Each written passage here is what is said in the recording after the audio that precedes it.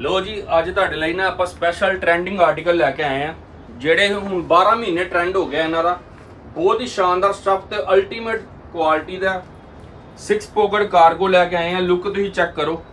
ਜੈਨੂਨ article ਆ diesel ਦਾ origignal article ਆ ਡੀਜ਼ਲ ਇੰਡਸਟਰੀ ਇੰਡਸਟਰੀਜ਼ ਠੀਕ ਹੈ ਜੀ? ਤੇ ਆਰਟੀਕਲ ਤੁਸੀਂ ਚੈੱਕ ਕਰੋ ਸਾਈਜ਼ ਤੁਹਾਨੂੰ ਮਿਲਣਗੇ। 30 ਤੋਂ ਲੈ ਕੇ 36 ਤੱਕ ਸਾਈਜ਼ ਅਵੇਲੇਬਲ ਆਪਣੇ ਕੋਲ। ਹੁਣੇ ਮਾਲ ਆ ਚੈੱਕ ਕਰ ਲਓ, ਸਾਰੇ ਕਲਰ 12 ਕਲਰ ਆਏ ਆ, ਤੁਹਾਨੂੰ ਆਪਾਂ ਸ਼ੋਅ ਕਰਾਵਾਂਗੇ ਪੰਜ ਕਲਰ। ਇਹ ਹੈਗਾ ਜੀ ਪ੍ਰੋਪਰ ਬਲੈਕ ਕਲਰ, ਠੀਕ ਹੈ ਜੀ।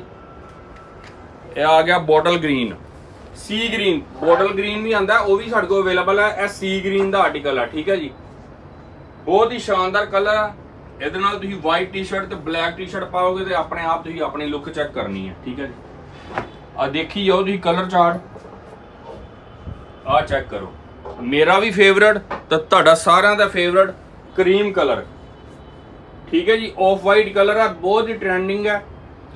ਅੱਜ ਕੱਲ ਮੋਸਟਲੀ ਮੁੰਡੇ ਆ ਪਸੰਦ ਕਰਦੇ ਕਲਰ। ਸਟ੍ਰੇਟ ਫਿਟ ਦਾ ਆਰਟੀਕਲ ਹੈ ਬੋਟਮ ਹੋਏਗਾ 18 19 ਬੋਟਮ ਹੈ ਰਾ ਠੀਕ ਹੈ ਜੀ। ਸਾਈਜ਼ ਮਿਲੇਗਾ 30 ਤੋਂ 36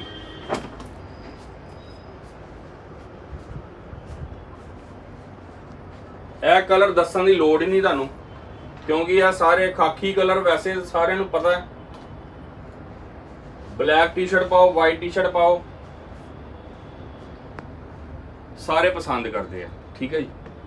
ਲੁੱਕ ਚੈੱਕ ਕਰੋ ਪੋਕਟ ਚੈੱਕ ਕਰੋ ਯੂ ਪੋਕਟ ਵਿਦ ਅਸੈਸਰੀ ਹੈ ਸਾਰੀ ਚੈੱਕ ਕਰ ਸਕਦੇ ਹੋ ਤੁਸੀਂ। ਠੀਕ ਹੈ ਜੀ। ਇਹਦੀ ਪੋਕਟ ਬਹੁਤ ਸ਼ਾਨਦਾਰ ਬਣਾਈ ਹੈ ਲੁੱਕ ਚੈੱਕ ਕਰੋ।